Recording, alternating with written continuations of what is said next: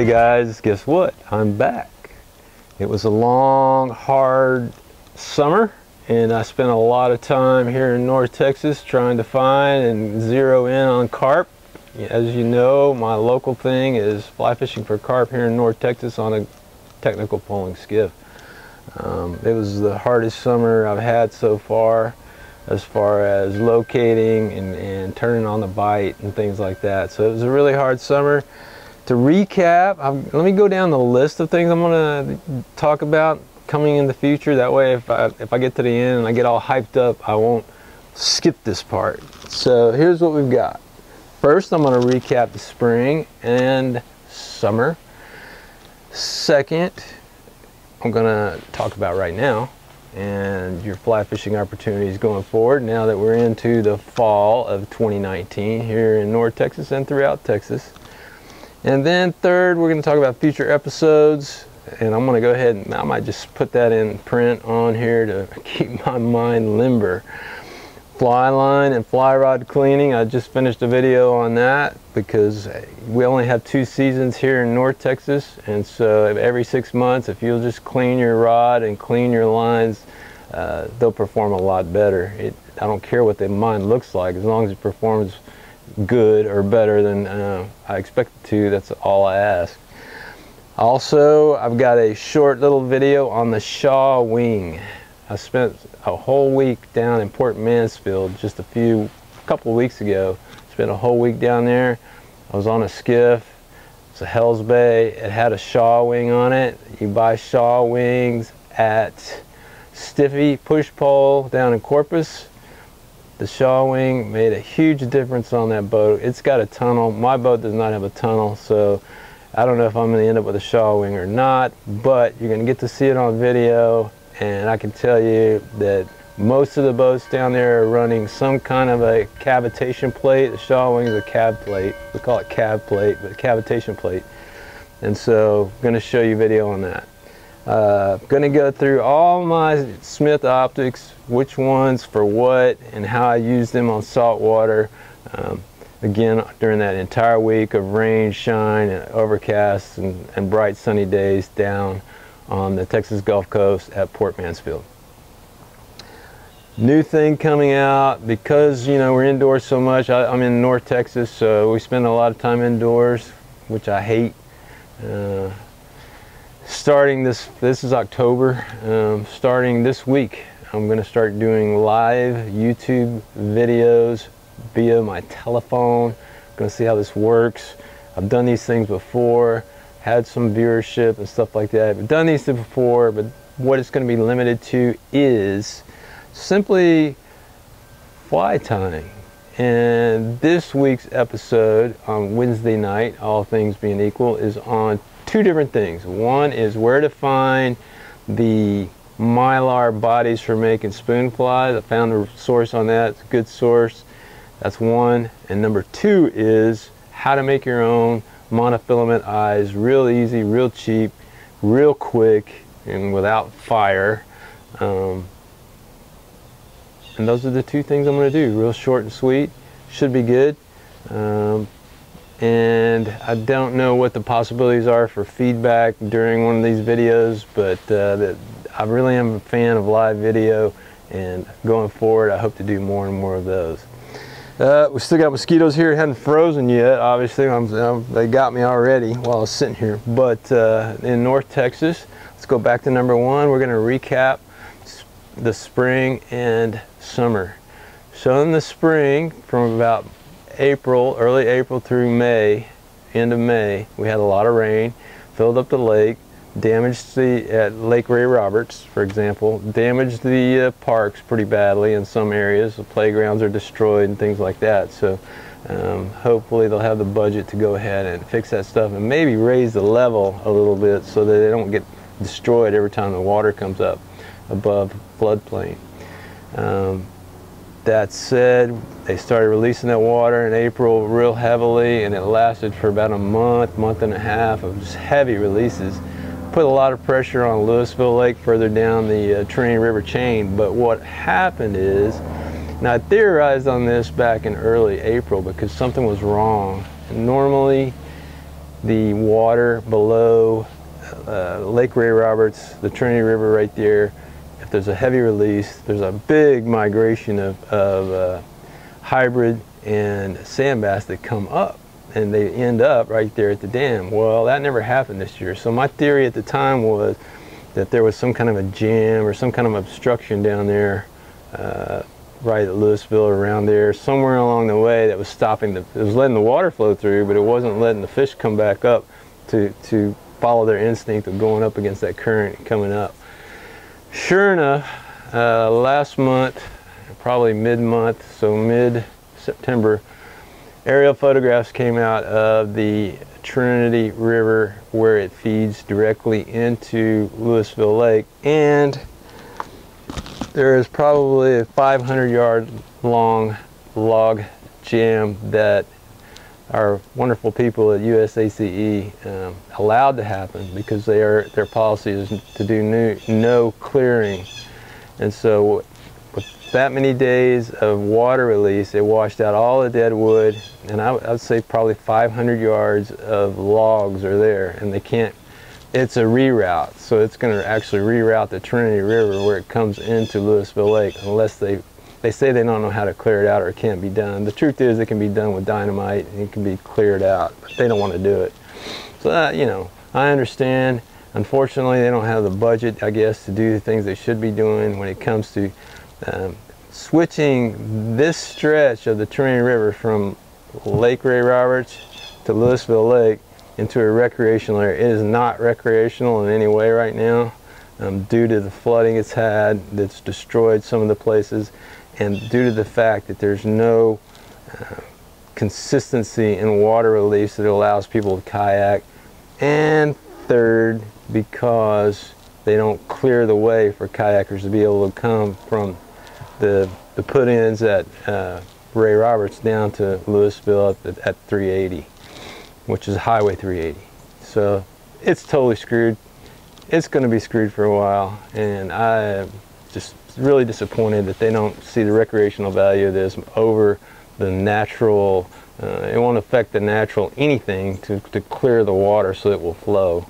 But I guess they don't want that. So anyway, that's that. That's my little preach we got into the summer it was really uh, tough fishing because of all the water fluctuation it was high and then it came down really quickly because they had so much and released so much and it made um, finding fish a little more difficult as we got into the end of July and into August what I found was plenty of fish water levels good everything perfect and then they just wouldn't eat my flies so I couldn't figure out what was going on with that um, and I was getting a, the strangest behavior this year from carp that I that I've had, and it was where they follow your fly all the way back in without taking it. And so it was really weird that um, they don't normally follow very much. They'll just pick something up that's right there in front of them. But in this case, uh, they would follow in and never take it. So it was extremely frustrating to see that right in front of me happening and then uh, not really uh, nail it down. Of course, we caught a few fish along the way and had some clients go out, things like that. But it was, it was really an interesting year and season. We're winding it down because we had our first cool front just last week.